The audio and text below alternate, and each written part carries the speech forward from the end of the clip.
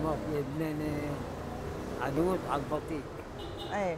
يا أخي هن اللي عايشين الشعب الاثنين عم بيموتوا على البطيء. مم. الشعب عم بياكل بعضيه وهن عم بياكلوا الشعب.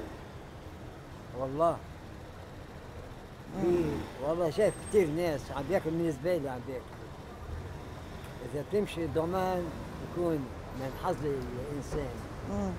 وين ما كان في ضمان إلا هون ما في. هون هن الكبار اللي عايشين الله والله يعينهم الله يعينهم. ما- في حدا بيقوم فيهم آه، دكتور كرك اليوم مشروع التقاعد والنظام الاجتماعي وين صرتوا فيه؟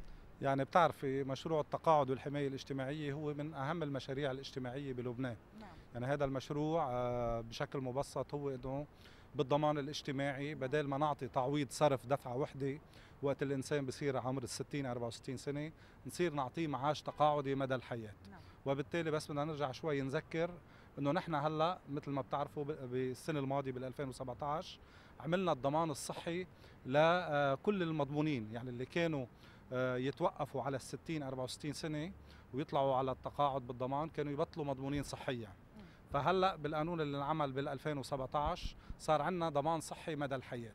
بدنا نواكب الضمان الصحي مدى الحياة بمعاش تقاعدي مدى الحياة. نحن هلأ وقت اللي بيترك الإنسان بالضمان نعطيه مبلغ من المال وقت اللي بيطلع بالتعويض بنسميه تعويض نهاية الخدمة وبياخذوا دفعة وحدة. نعم. هلأ بدنا نعمل استقرار اجتماعي وبالتالي هلأ بدل ما ياخذ دفعة وحدة بدنا نعطيه معاش مدى الحياة.